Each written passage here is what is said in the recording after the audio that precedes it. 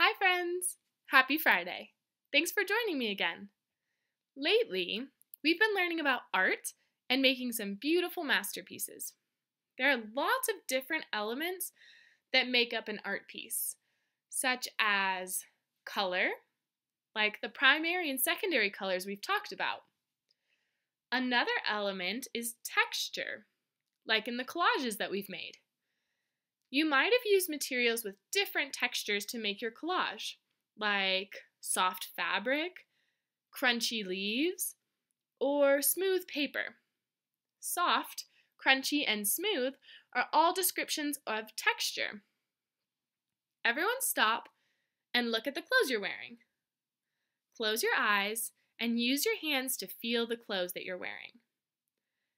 Think of words that describe how your clothes feel on your hands. Do they feel smooth or rough?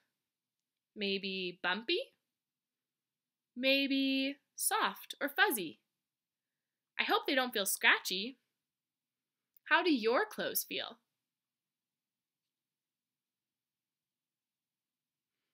Hmm, mine feel soft, but also bumpy. Let's see what other textures I have in my closet. Sometimes you can guess the texture of something just by looking at it with your eyes. But sometimes that's tricky and you need to actually feel the object. Let's see if you can guess what the texture of these jackets are. First up, this jacket. What do you think this texture might feel like if you could feel it with your hands?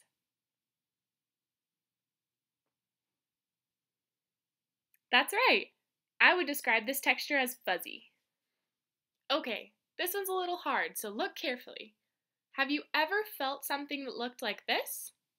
What kind of texture does it have?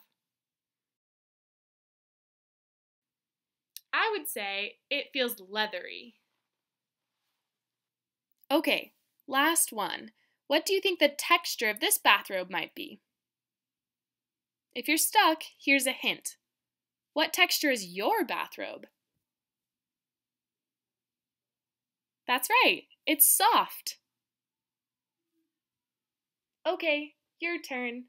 You can put on a fashion show for your grown-ups with clothes in your closet that have different textures and tell them all the texture words you know.